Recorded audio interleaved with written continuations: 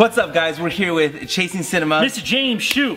.com and we have a huge movie Yes. in the Marvel Universe. Yes. Tom Holland, Yes. Spider-Man Homecoming. Yes, and sitting here right now, we just got done reviewing Baby Driver and Despicable Me. You can find those on chasecinema.com, but we are a week away for Spider-Man. It's And it is going to be one of the biggest movies of the summer. Everyone's Shu, pumped. What are you expecting? I'm expecting big things. I want big things. I want to love Spider-Man. I lost a lot of passion for it, but I'm excited for it to come back to me. and the only way is for you to come enjoy it with us at our premieres. So if you want to come, hit up me.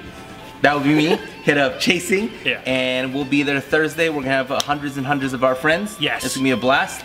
And ChasingCinema.com is known as Film Lovers website.